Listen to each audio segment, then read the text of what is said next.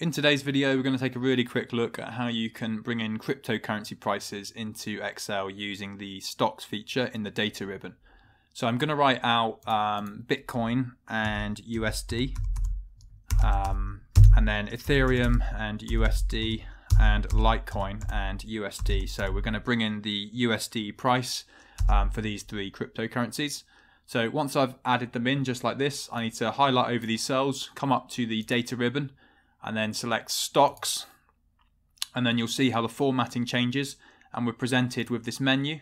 and we can bring in various different types of field um, for the purpose of this I'm just going to bring in price and then there you have it we have all of our USD price for these cryptocurrencies in Excel just populated into these cells just like that Thanks for watching this video. If you found it useful, don't forget to like and subscribe, and I'll see you in the next one.